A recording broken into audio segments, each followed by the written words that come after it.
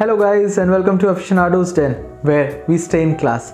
And guys, Charlie Gold Triple X Rum review तो आपने कल देख लिया होगा और अगर नहीं देखा तो I post the link in the I button चलिए आज बात करते हैं एक बहुत ही अच्छी चीज़ की।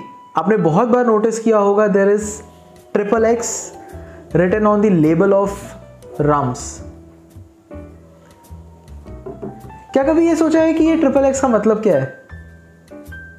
चलिए आज इसी के बारे में बात करते हैं। तो there are many theories regarding this triple X but जो मेन थ्योरीज हैं दो I talk about those two theories today तो first and the foremost theory is कि back in the day this rum was use as a medicine so there is a theory that says कि rum का full form था regular use medicine तो doctors prescribe करते थे rum to patients and triple X का मतलब था in Roman thirty the thirty days of the month तो इसीलिए ट्रिपल एक्स लिखते थे प्रिस्क्रिप्शन पे, ताकि जो पेशेंट्स हैं, वो तीस दिन तक एक बॉटल यूज़ कर सकें। And the major was the cap और द ढक्कन जैसे हम हिंदी में बोलते हैं that was the major so they use to take one knob of rum before dinner every day for 30 days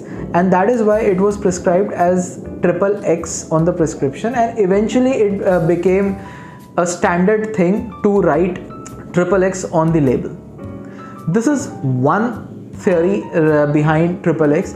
There is one other theory as well uh, which says that it is based on the proof method know what exactly is the proof method अगर आपने देखा होगा, कई बार जो है bottle के labels पे लिखा होता है A B V that is alcohol by volume कई अमेरिकन विस्कीज़ जो होती हैं उन पे लिखा होता है प्रूफ तो ये प्रूफ क्या होता है?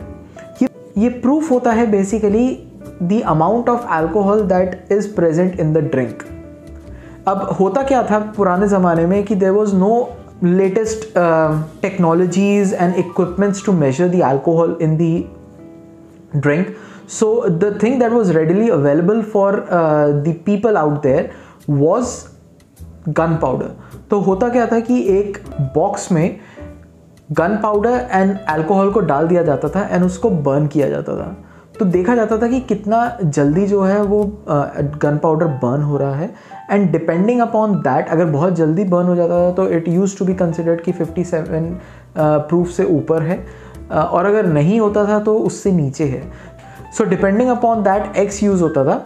तो uh, कहा जाता था कि जिस जो 57 से ऊपर है उसको डबल एक्स मिलेगा। जो उससे नीचे है उसको एक्स मिलेगा। और अगर कोई एक बहुत ही ज़्यादा प्रूफ रम है तो उसको ट्रिपल एक्स मिलेगा। So that is how triple X came into picture in uh, olden days. Uh, these are the two theories that are prevalent uh, today. There are more theories as well, but these are the uh, famous two theories uh, that are there uh, about triple X on the label.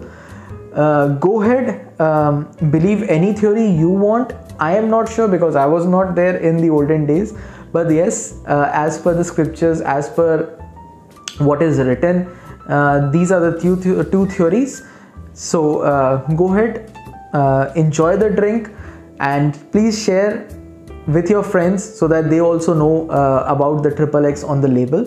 And yes, as we say in Aficionados Den, stay classy and cheers.